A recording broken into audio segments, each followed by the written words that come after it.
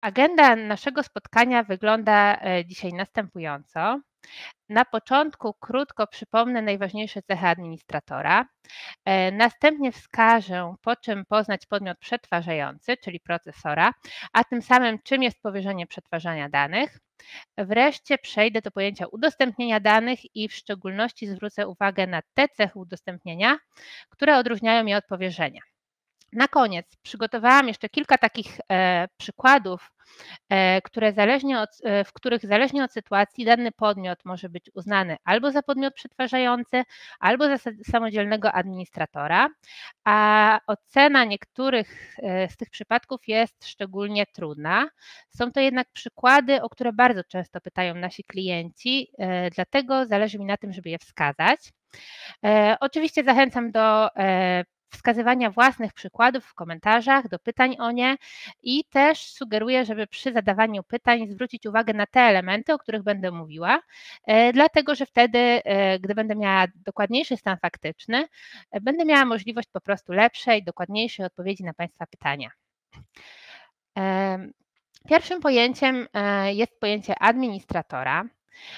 Pojęcie administratora wynika z RODO, zgodnie z RODO jest to osoba fizyczna lub prawna, organ publiczny, jednostka lub inny podmiot, który samodzielnie lub wspólnie z innymi ustala cele i sposoby przetwarzania danych osobowych. E, w zasadzie nie ma jakichś ograniczeń co do tego, e, jaki podmiot może być administratorem.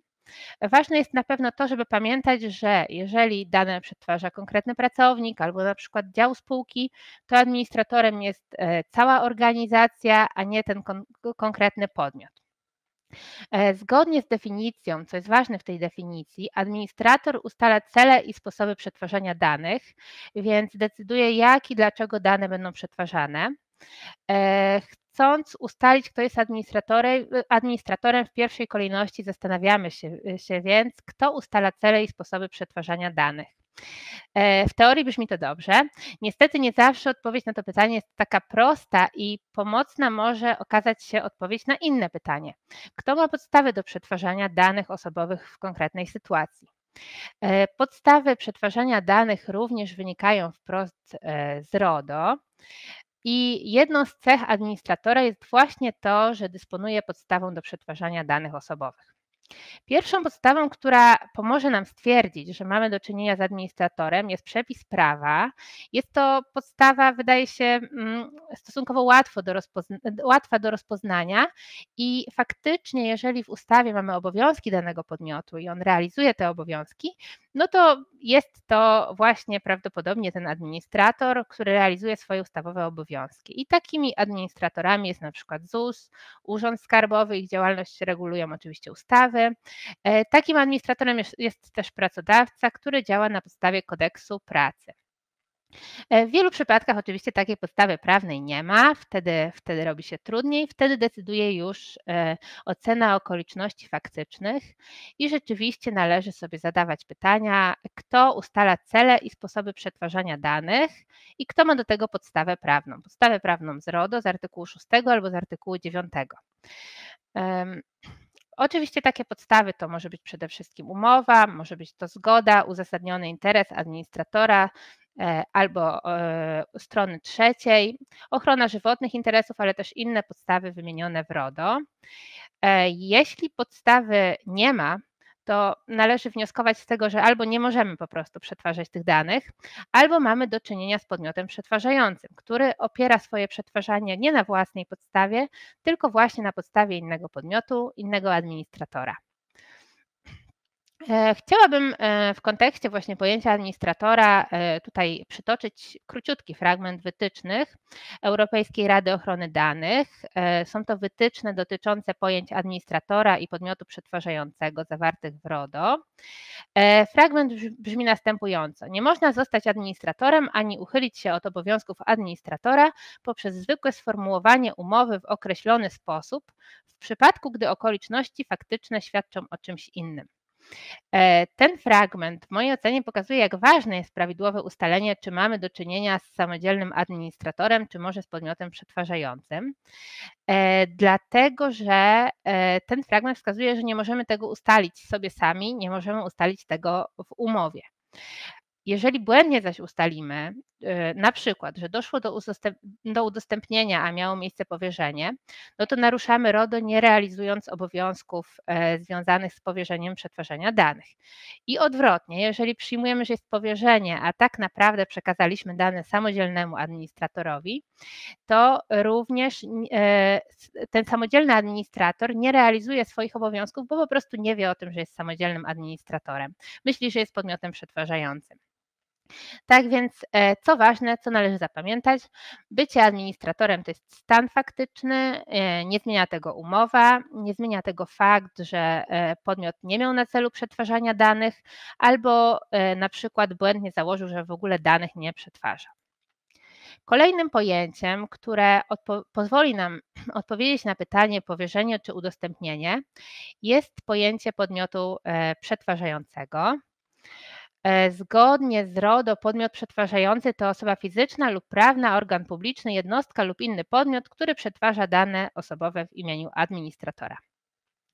E, co ważne, podmiot e, przetwarzający to przede wszystkim podmiot odrębny od administratora. Czyli nie może być to na przykład dział spółki wobec spółki, nie może być to pracownik.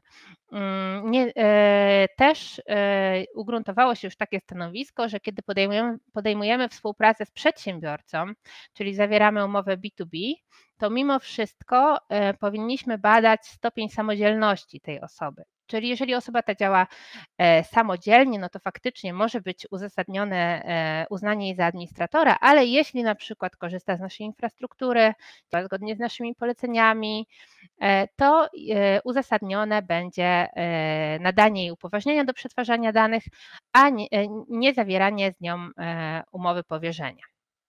Drugą cechą podmiotu przetwarzającego jest to, że działa w czyimś imieniu.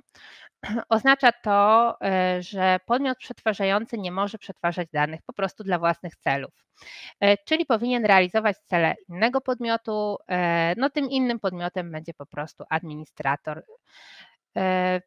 Często wskazuje się, że przetwarzanie mm, w imieniu administratora oznacza przetwarzanie zgodnie z jego instrukcjami. I tutaj również chciałabym zwrócić Państwa uwagę na to, że trzeba być bardzo ostrożnym w tych ocenach. E, I e, przygotowałam dla Państwa e, także fragment wytycznych Europejskiej Rady Ochrony Danych dotyczących pojęć administratora i podmiotu przetwarzającego, czyli tych samych, o których wspominałam wcześniej.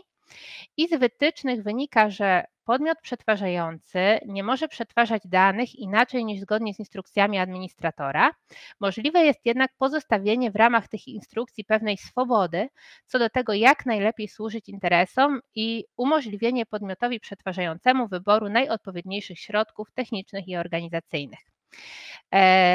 Tłumacząc to na, e, na takie prostsze stwierdzenia, może bardziej przystępne, po prostu podmiot przetwarzający może mieć e, pewien margines swobody. W pewnych okolicznościach może korzystać właśnie ze swojej wiedzy technicznej i w jakiś tam sposób decydować o sposobie wykonania umowy. E, w praktyce jest to oczywiste, dlatego że administrator powierza pewne, pewnie, pewne funkcje, pewne zadania, właśnie dlatego, że być może sam się do końca na nich nie zna, być może chce polegać na pomocy specjalisty i, i, i też liczy na takie podpowiedzi, że na przykład firma e, księgowa podpowie mu, z jakich programów najlepiej korzystać, e, jak to wszystko zorganizować, bo sam liczy na takie wsparcie. Na takie wsparcie. E, co ważne, podmiot przetwarzający nie może podejmować żadnych nadrzędnych decyzji. Czyli na przykład nie może decydować, jakie rodzaje danych gromadzić, w jakim celu będą wykorzystywane, jak długo będą przechowywane. E, te decyzje podejmuje wyłącznie administrator. E, podmiot przetwarzający można rozpoznać również po tym, że on nie ma potrzeby, nie ma obowiązku przechowywania danych po zakończeniu umowy. Czyli kończy się umowa i, i e, podmiot usuwa dane. Również administrator przez cały czas trwania powierzenia może zażądać po prostu usunięcia tych danych przez podmiot przetwarzający. E, trzeba też pamiętać, że rola podmiotu przetwarzającego nie wynika z jego charakteru, tylko z konkretnych działań w konkretnej sytuacji. I e, żeby to ocenić, czy w danej sytuacji dany podmiot jest podmiotem przetwarzającym, zazwyczaj naszych klientów prosimy po prostu o przekazanie nam umowy głównej, e, w której badamy zakres tej umowy, usługi, które obejmuje i sposób ich realizacji. E, sprawdzamy, jakie dane mogą pojawić się w czasie realizacji umowy i jak te dane będą przetwarzane. No i na tej podstawie decydujemy, czy w tej konkretnej sytuacji ten podmiot będzie podmiotem przetwarzającym, czy może uznamy go za samodzielnego administratora. E, takim przykładem podmiotu, który, który czasem jest, e, czasem jest administratorem, czasem jest podmiotem przetwarzającym, są na przykład e, agencje rekrutacyjne. Jeżeli działają ściśle z instrukcjami administratora, realizują konkretną rekrutację na konkretne ogłoszenie, na stanowisko wyznaczone przez administratora, to na przykład są podmiotem przetwarzającym, ale mogą też działać bardzo samodzielnie, mogą tworzyć e, własne bazy pracowników i e, zamieszczać ogłoszenia we własnym imieniu, wtedy są samodzielnymi administratorami. E, nie ma oczywiście uniwersalnych sposobów na ustalenie, czy mamy do czynienia z podmiotem przetwarzającym, czy z samodzielnym administratorem. E, na slajdzie umieściłam kilka pytań, które mogą być pomocne przy określeniu charakteru, e, charakteru współpracy administratora z podmiotem, któremu przekazuje dane osobowe. I takie pytania to na przykład, czy realizowany jest cel wyznaczony przez administratora, który przekazał da dane? Czyli no, musimy ustalić, e, czyj cel jest realizowany. Jeżeli zaczynamy dostrzegać cel podmiotu przetwarzającego, to należy podejrzewać, że być może nie jest to jednak podmiot przetwarzający. E, czy administrator wskaże, w jaki sposób dane mają być przetwarzane? Czyli najważniejsze decyzje w przetwarzaniu musi podejmować administrator. E, czy administrator może kontrolować podmiot, któremu przekazał dane? E, czy administrator ma wpływ na przekazanie danych dalszym podmiotom? Czyli tutaj też administrator powinien mieć wpływ na to, komu dane są e, przekazywane przez podmiot przetwarzający. Mm, czy po zakończeniu umowy dane zostaną usunięte przez podmiot, który je otrzymał? I to jest to, o czym już mówiłam. Czyli e, jeżeli mm, podmiot przetwarzający po zakończeniu umowy usuwa dane, to jest to sytuacja prawidłowa. Jeżeli na przykład ma obowiązek ustawowy, żeby dalej je przechowywać, to należy się zastanowić, czy to jest na pewno powierzenie przetwarzania danych.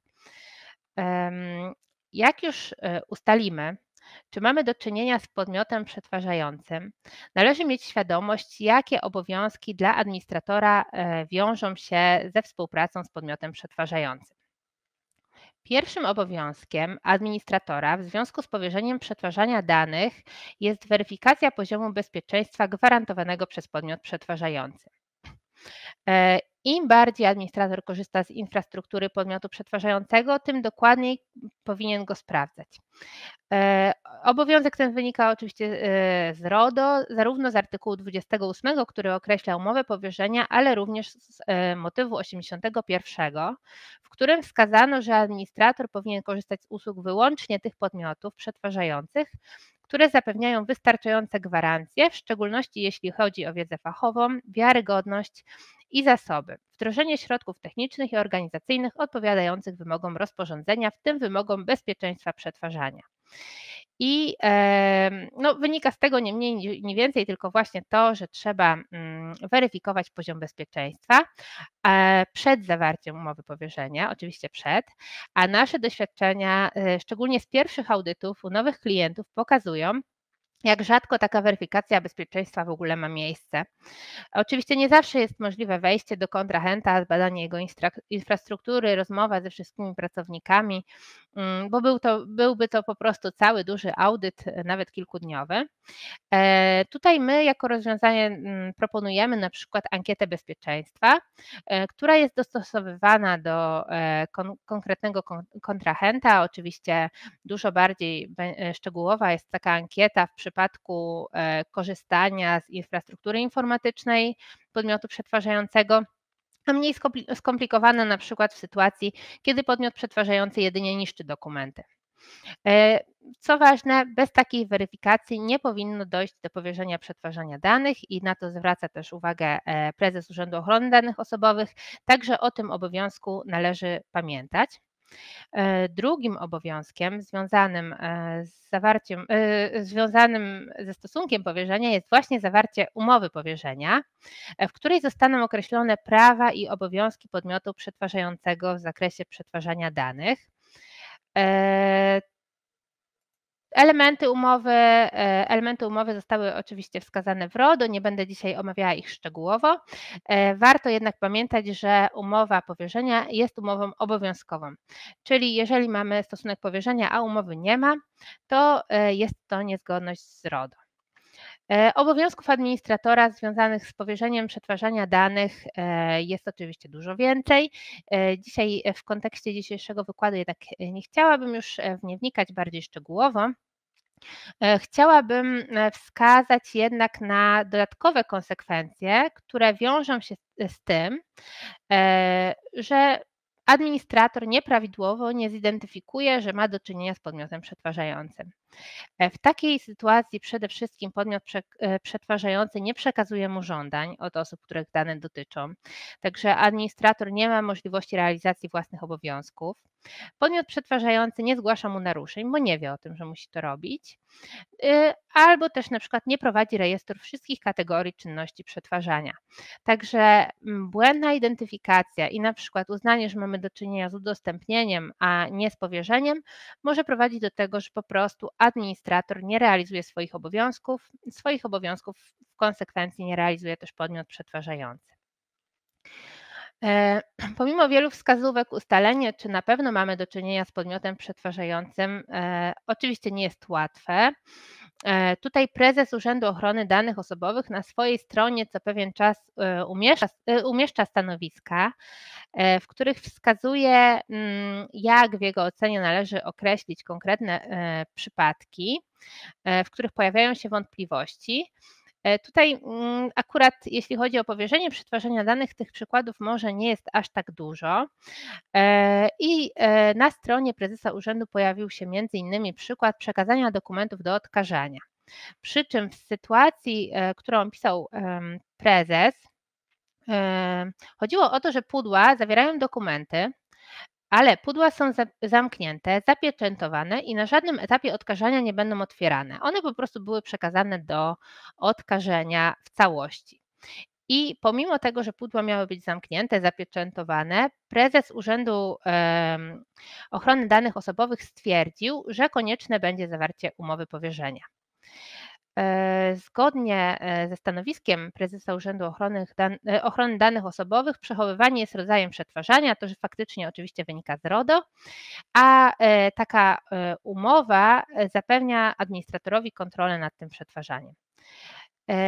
Kolejnym przykładem, który pojawił się na stronie prezesa Urzędu Ochrony Danych Osobowych jest przekazywanie przez szkołę e, firmie zewnętrznej danych e, w celu e, stworzenia, wytworzenia legitymacji służbowych dla nauczycieli. Tutaj również uznano, że dochodzi do powierzenia przetwarzania danych i powinna być w związku z tym zawarta umowa. Trzeci przykład nie, już nie pojawił się na stronie prezesa urzędu, tylko w newsletterze z marca 2020 roku i jest to usługa kolokacji, tylko tutaj zaznaczam, usługa kolokacji właśnie nie jest powierzeniem przetwarzania danych osobowych.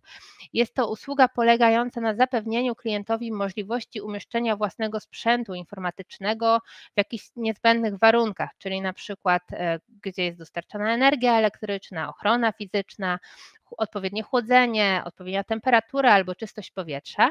Jednak prezes urzędu zaznaczył mm, że może tak być, że e, usługa kolokacji będzie wiązała się z koniecznością zawarcia umowy powierzenia.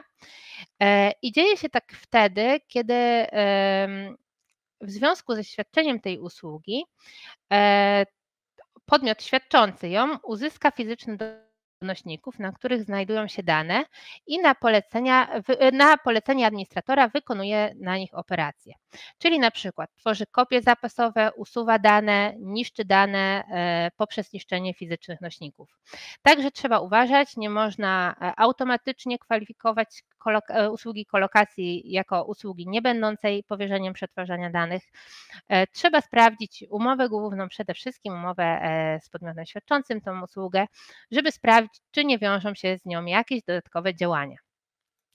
E, przykłady powierzenia przetwarzania danych osobowych e, znajdują się również w wytycznych Europejskiej Rady Ochrony Danych, e, o których już wcześniej wspominałam.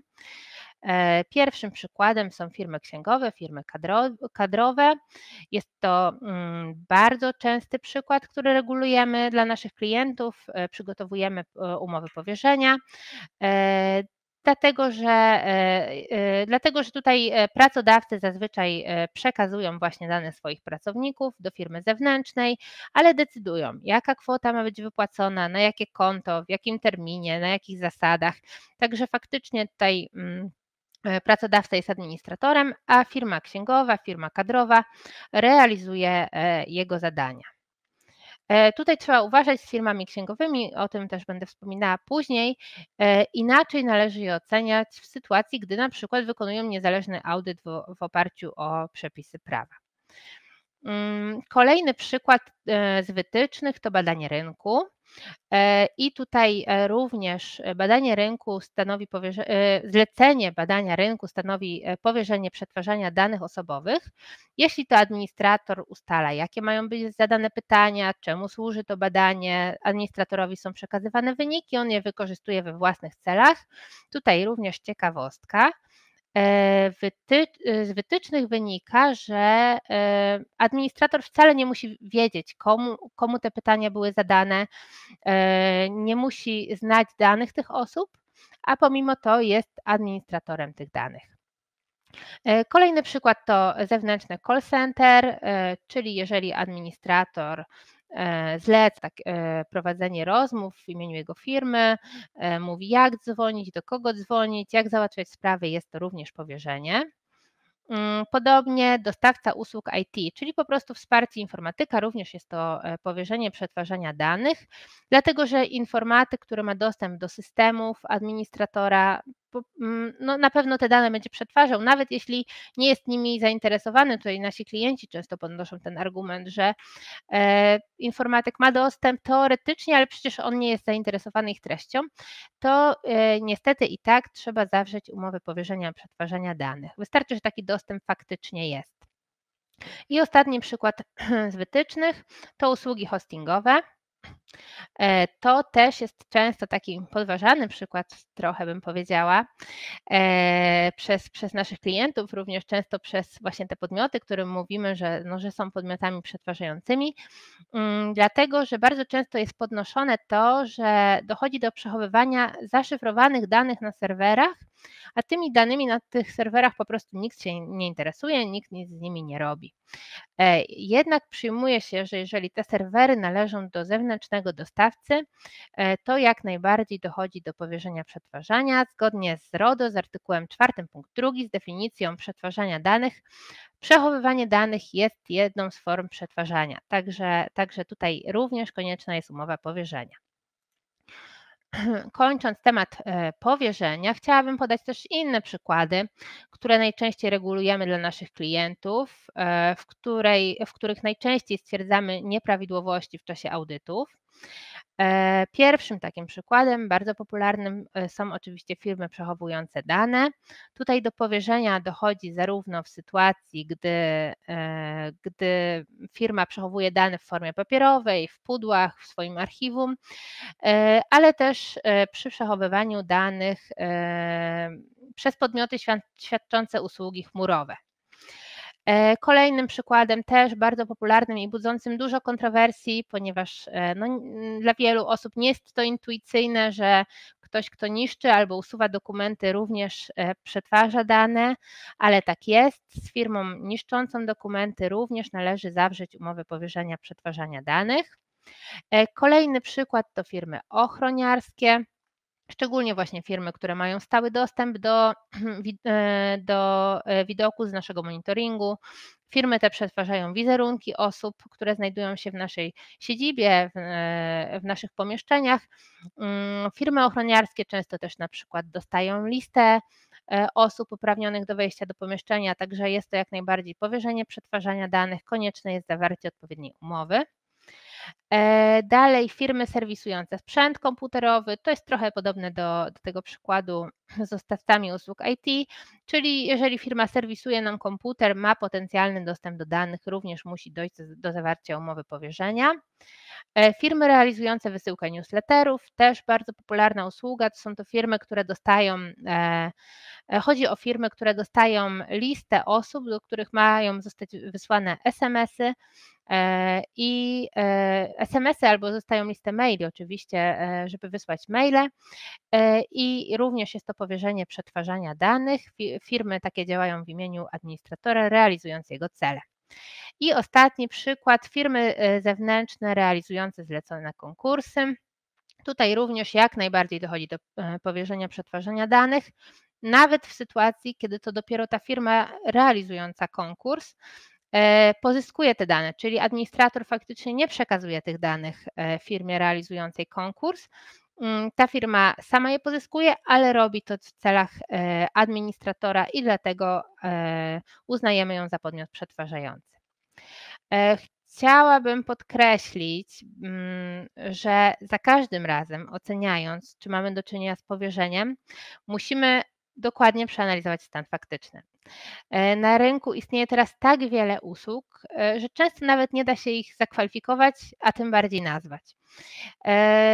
Na co dzień spotykamy się z wieloma takimi przypadkami. Często jest na przykład E, częste są na przykład e, działania marketingowe, które e, są tak zaskakujące, tak nowe, że za każdym razem trzeba ocenić, czy mamy tutaj do czynienia z powierzeniem przetwarzania danych. My nigdy nie przyjmujemy z automatu, że poprzednim razem jakiś podmiot oceniliśmy jako podmiot przetwarzający, to teraz na pewno on będzie tym podmiotem przetwarzającym również. Zawsze badamy stopień samodzielności, mm, sposób organizacji e, zadań. No i właśnie, jeżeli pojawi się taka bardzo duża samodzielność, czasem pozwala nam to uznać, że mamy do czynienia z udostępnieniem danych.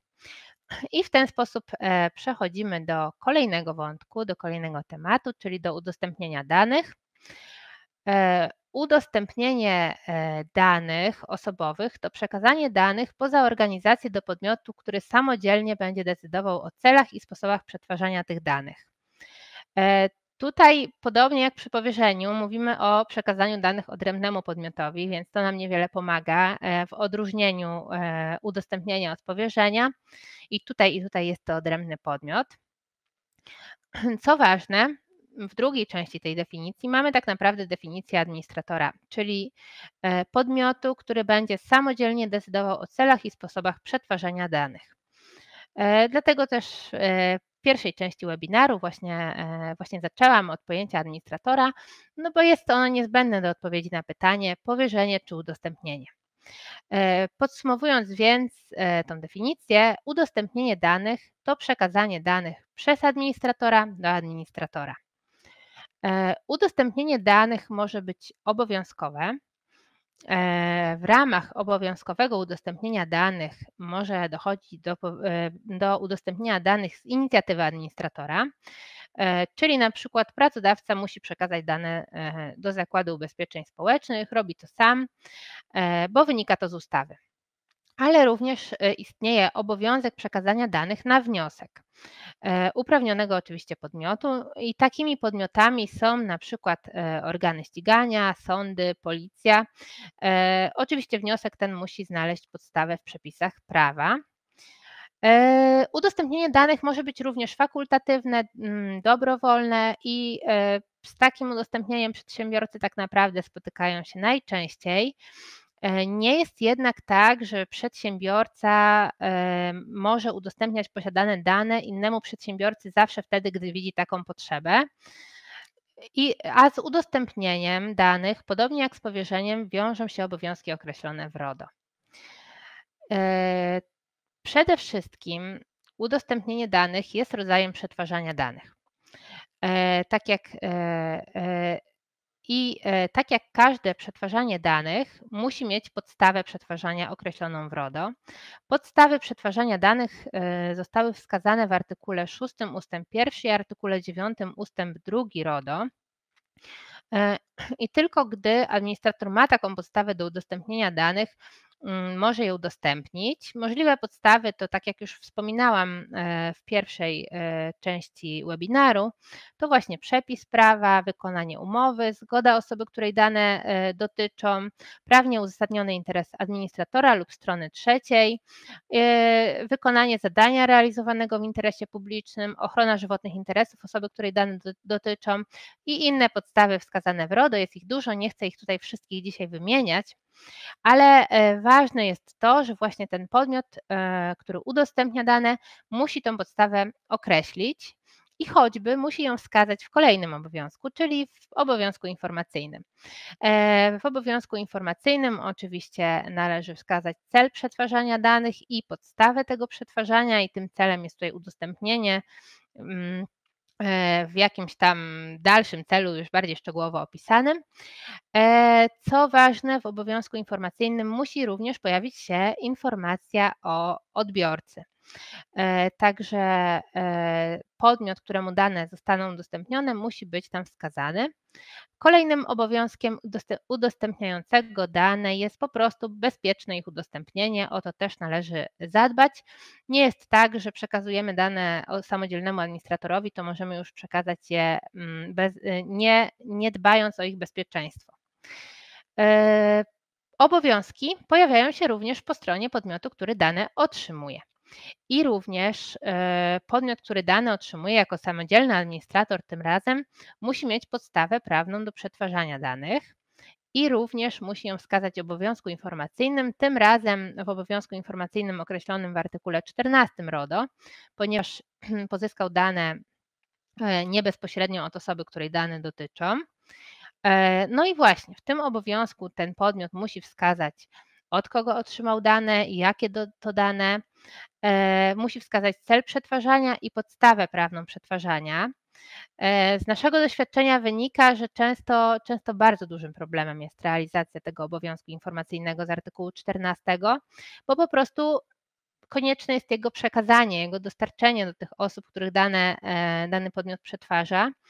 E, często jest to wiele osób i często na tym, mm, na tym etapie e, powstają największe problemy. Kolej, no i oczywiście poza, poza tymi najważniejszymi obowiązkami, o których wspomniałam,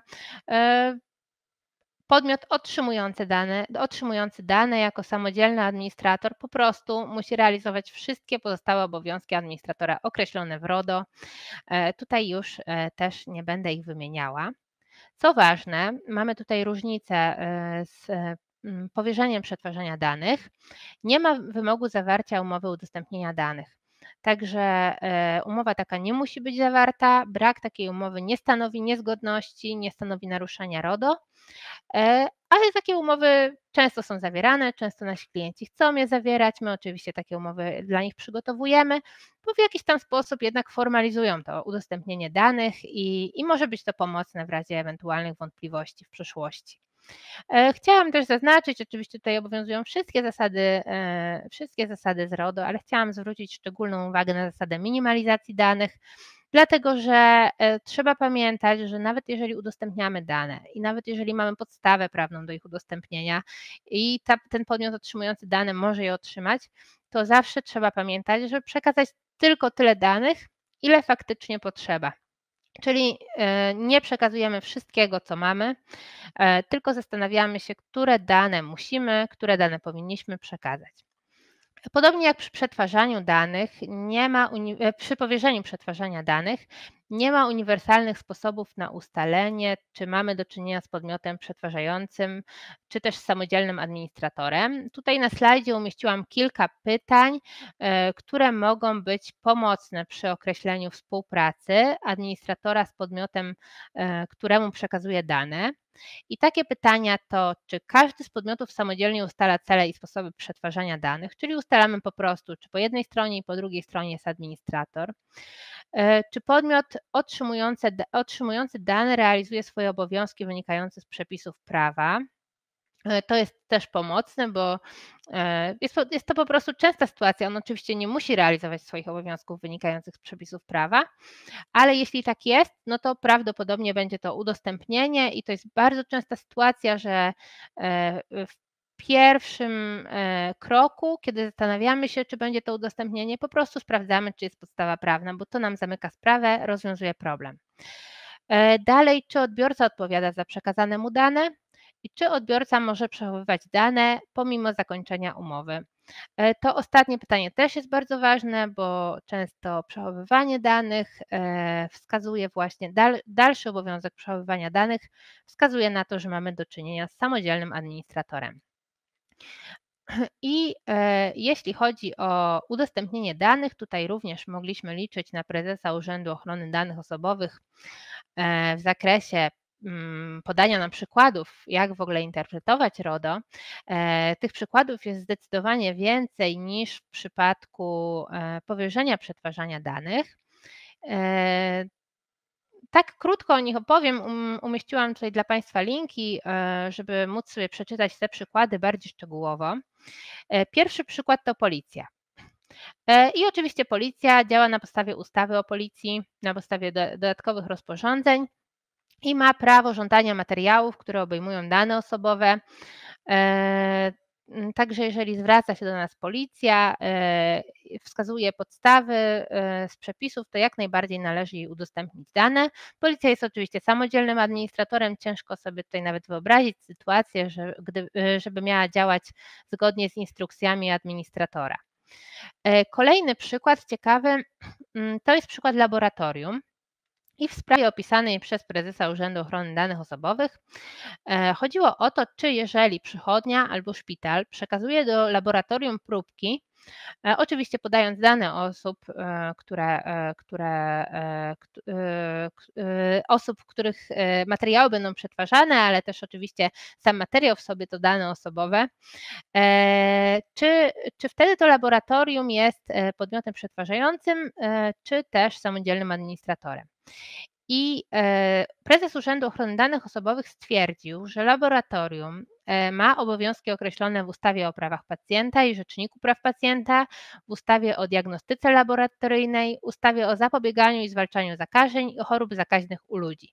Także laboratorium ma całe spektrum ustaw, e, na podstawie których działa i w związku z tym, w związku z tym, że realizuje swoje liczne obowiązki, jak najbardziej jest samodzielnym administratorem. Kolejny przykład to Zakład Ubezpieczeń Społecznych, Urząd Skarbowy, Główny Urząd Statystyczny i banki. I tutaj podobnie prezes Urzędu Ochrony Danych Osobowych wskazał, że podmioty te działają na podstawie ustaw, ustawy o ubezpieczeniach społecznych, o PIT, kodeksu pracy e, i tak dalej. I w związku z tym są jak najbardziej e, samodzielnymi administratorami. E, banki działają oczywiście na podstawie prawa bankowego, e, świadczą usługi bankowe zgodnie e, z tym prawem, także, także są to samodzielni administratorzy. Następnym przykładem jest komornik. Tutaj pojawiło się pytanie, czy komornikowi należy udostępnić dane w postaci numeru rachunku bankowego pracownika? I Akurat ten przykład opisany przez prezesa Urzędu Ochrony Danych Osobowych e, został dość szeroko. E, wskazywano tam na różne podstawy, o które może oprzeć się komornik, e, wnioskując o udostępnienie danych. Wniosek jest jednak taki, że komornik działa na podstawie właściwych przepisów procedury cywilnej i jak najbardziej w związku z tym, że działa na podstawie przepisów, należy mu udostępnić dane i jest samodzielnym administratorem. E, dalsze przykłady, które, e, które opisał dla nas prezes Urzędu Ochrony Danych Osobowych, to broker ubezpieczeniowy. E, tutaj również mm, to, co przesądza o tym, że jest to samodzielny administrator, to fakt, że działa na podstawie ustawy o dystrybucji ubezpieczeń, realizuje wynikające z tej ustawy obowiązki, także jak najbardziej jest samodzielnym administratorem. Co więcej, tutaj prezes urzędu wskazał na inne ważne elementy, które decydują o byciu administratorem. Czyli to, że e, broker ubezpieczeniowy jest zobowiązany do zachowania informacji w tajemnicy i to też się będzie pojawiało później w dalszych przykładach. I jest też zobowiązany do przechowywania dokumentacji dotyczącej wykonywania działalności brokerskiej czyli nie może być podmiotem przetwarzającym choćby dlatego, że po prostu musi przetwarzać we własnym zakresie, zgodnie z własnymi obowiązkami e, dane, przechowywać je po zakończeniu po zakończeniu trwania umowy. Kolejny przykład to biegli rewidenci, czyli firmy audytorskie, które nie są związane poleceniami klienta. Tutaj istotne jest to, że istotą w ogóle działalności tych, e, tych firm jest niezależność i obiektywizm w przeprowadzaniu badania, czyli no nie mogą działać na polecenie klienta, u którego prowadzą audyt, bo wtedy taki audyt e, nie miałby sensu, nie byłby obiektywny i nie prowadziłby do odpowiednich, e, odpowiednich skutków. Poza tym również działalność biegłych rewidentów jest oczywiście uregulowana w ustawach. Kolejny przykład to staż dla studentów, czyli dokładnie w e, sprawie chodziło o to, czy w przypadku, jeżeli uczelnia e, kieruje studenta na praktyki zawodowe, to czy mm, zakład pracy, podmiot, pracodawca, który przyjmuje takiego studenta na praktyki, powinien e, zawrzeć z uczelnią umowę powierzenia, czyli jakby czy ten pracodawca jest podmiotem przetwarzającym. I prezes Urzędu Ochrony Danych Osobowych stwierdził, że nie, dlatego że e, pracodawca realizuje swoje własne zadania. One wynikają zarówno z umowy, jak i z przepisów szczególnych. I mamy tutaj kodeks pracy, oczywiście, przepisy BHP, ale też e, regulacje wewnętrzne pracodawcy. E, także, także tutaj pracodawca, nawet jeżeli jest to staż z uczelni, jest samodzielnym administratorem danych i tutaj już ostatni przykład mm, udostępnienia danych. E, też od razu zaznaczę, że nie jest to ostatni przykład podany przez prezesa Urzędu Ochrony Danych Osobowych. Na stronie jest ich więcej, ale uznałam to za ważny przykład, e, e, taki po prostu codzienny. I tym przykładem są operatorzy pocztowi, czyli Poczta Polska i inni operatorzy pocztowi w związku z wykonywaniem usług pocztowych e, są administratorami danych osobowych nadawców i adresatów przesyłek. Co też jest istotne, czyli e, z Pocztą Polską, z, z operatorami mm, pocztowymi nie zawieramy umów powierzenia. Tutaj zaznaczę tylko, że to stanowisko E, umieściłam Państwu linka do tego stanowiska, ale e, proszę się nie zniechęcać, bo tytuł e, dotyczy czegoś innego, ale na sam koniec ostatni akapit dotyczy właśnie, właśnie operatorów pocztowych na tej stronie, do której tutaj jest link. E, dalej chciałabym mm, też wskazać na kilka przykładów, e, bo wydaje mi się, że na przykładach jednak najlepiej zrozumieć e, i od, czym jest to udostępnienie i odnaleźć jakoś swoją sytuację, swój problem właśnie w tych przykładach. Chciałabym wskazać na kilka przykładów z wytycznych Europejskiej Rady Ochrony Danych. Tutaj tak naprawdę ten przykład już się pojawił, czyli firmy wykonujące audyty, tylko jest wskazany bardziej ogólnie, bo jest po prostu wskazany przez podmiot europejski, który nie zna dokładnie przepisów polskich. I tutaj e, w szczególności wskazano na audyty finansowe, które właśnie są regulowane e, przepisami e, w poszczególnych krajach, w związku z tym nie mogą być realizowane zgodnie z instrukcjami podmiotu zlecającego.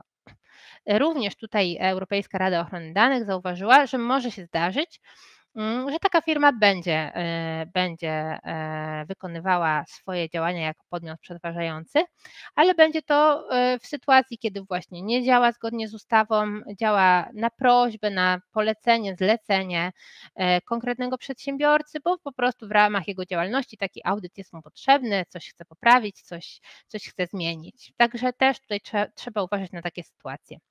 Kolejny przykład to platformy rezerwacji taksówek. Tutaj była taka sytuacja opisana, że e, mm, pewna firma podaje imiona i nazwiska pracownika, tak aby kierowca taksówki mógł potwierdzić tożsamość w momencie odbioru.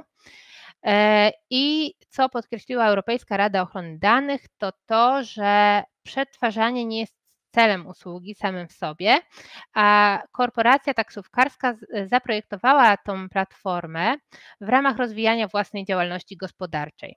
E, także tutaj nie było żadnych e, instrukcji ze strony przedsiębiorcy i w związku z tym e, Europejska Rada Ochrony Danych uznała, że taka firma taksówkarska jest samodzielnym administratorem w tym zakresie. Kolejny przykład to kancelarie prawne.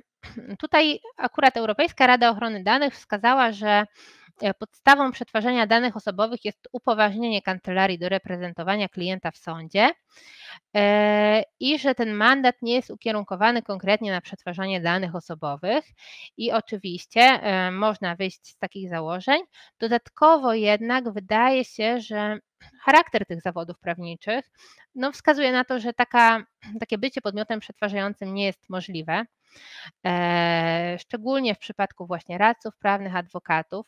Po pierwsze, dlatego, że obejmuje ich tajemnica zawodowa, a po drugie, dlatego, że obejmują ich przepisy e, z zakresu etyki, e, z których wynika innymi to, że nie mogą podlegać żadnym naciskom, nie mogą wykonywać instrukcji, muszą działać zgodnie ze swoją najlepszą wiedzą. Także, także tutaj jak najbardziej mm, kancelarie prawne, właśnie radcy prawni, adwokaci zawsze będą samodzielnymi administratorami danych. I ostatni przykład z wytycznych to biura podróży. Tutaj rozstrzygnięto to, że jeżeli kupujemy wycieczkę na przykład w biurze podróży i biuro podróży w związku z tym przekazuje nasze dane liniom lotniczym, hotelom, organizatorom wycieczek, e, to każdy z tych podmiotów działa niezależnie. Nie jest tak, że to biuro podróży jest administratorem, a te podmioty są podmiotami przetwarzającymi, e, tylko każdy działa niezależnie, każdy, każdy sam ustala zasady swoich działań przede wszystkim. I tutaj również chciałabym jeszcze podać kilka dodatkowych przykładów, e, dlatego że są to przykłady praktyczne, mam nadzieję, że będą dla Państwa przydatne e, i spotykamy się z nimi po prostu bardzo często w naszej e, codziennej pracy. Pytają nas o, te, o takie sytuacje nasi klienci. Pierwszy przykład to sądy, prokuratury, tutaj dodałam też policję, o której już była mowa i jest to udostępnienie danych na wniosek.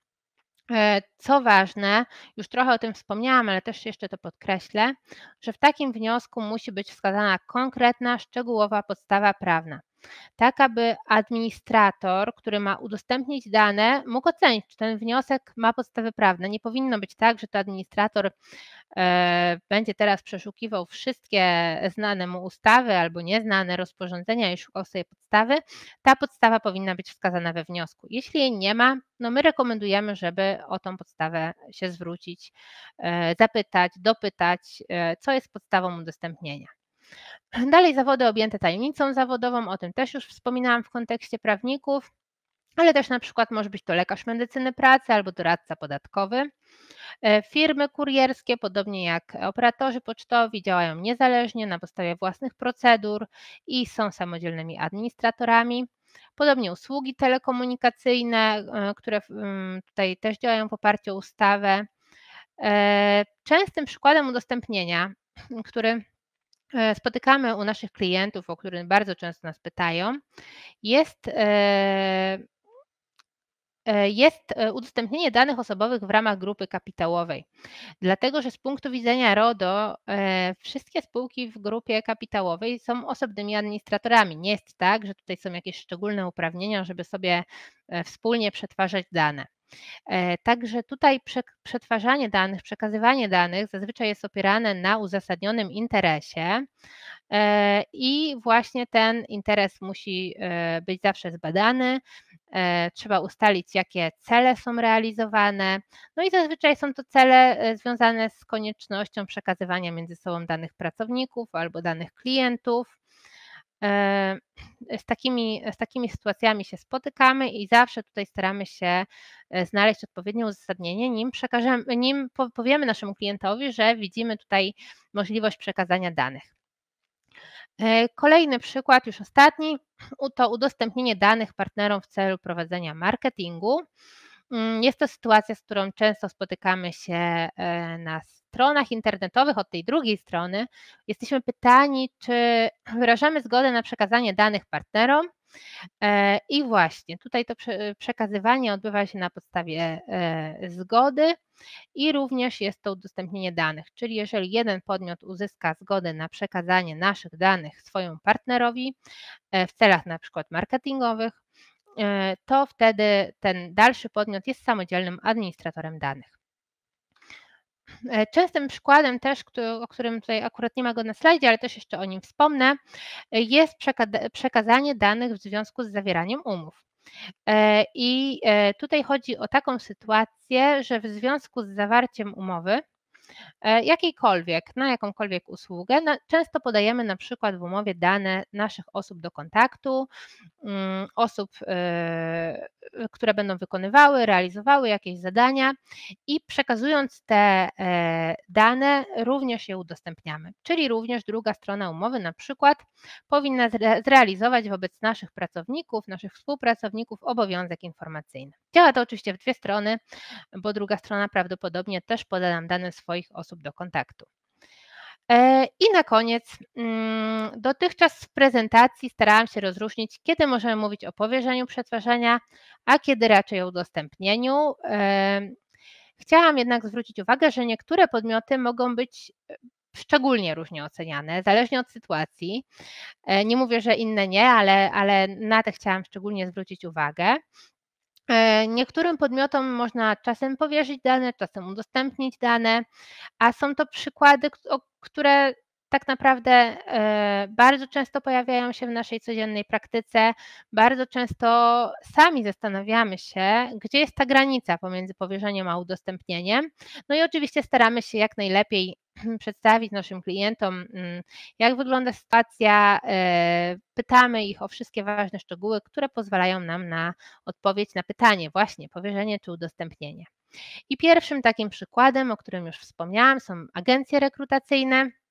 I tutaj pomocne jest ustalenie, czy dane osobowe kandydatów są czerpane z agencji rekrutacyjnej, czy agencja we własnym imieniu e, e, opublikowała ogłoszenie, czy we własnym imieniu e, prowadziła rekrutację, zadawała własne pytania i tak dalej, nie pod nasze konkretne stanowisko. Wtedy agencja będzie, jeżeli tak jest, jeżeli agencja jest tak bardzo samodzielna, jest administratorem danych, E, jeżeli na przykład ogłoszenie umieściła w naszym imieniu, prowadzi rekrutację na e, stanowisko w naszej firmie, bardzo konkretne, my informujemy, czego oczekujemy, jakie kryteria ma pracownik spełniać, no to wtedy raczej agencja rekrutacyjna będzie podmiotem przetwarzającym.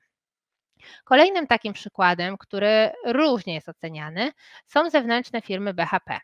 Tutaj w pewnym zakresie z pomocą przyszedł nam prezes Urzędu Ochrony Danych Osobowych, który wskazał, że jeżeli zewnętrzna firma BHP realizuje obowiązkowe szkolenia, to realizuje je na podstawie rozporządzenia ministra gospodarki i pracy w sprawie szkolenia w dziedzinie bezpieczeństwa i higieny pracy.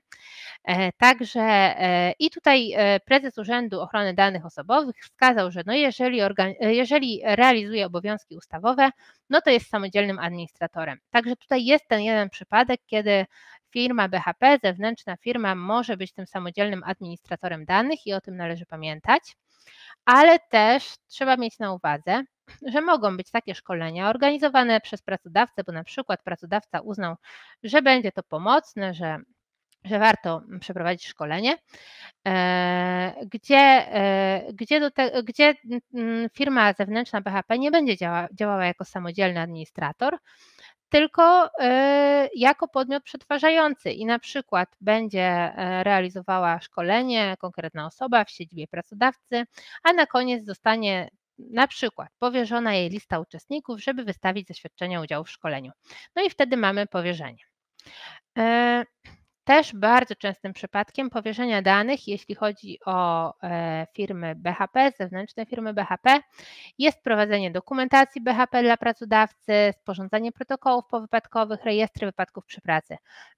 Także czasem pracodawcy w ten sposób posiłkują się zewnętrznymi firmami BHP.